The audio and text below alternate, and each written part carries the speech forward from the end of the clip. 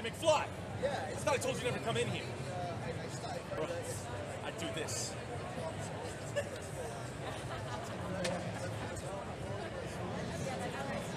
Finally, Back to the Future makes sense.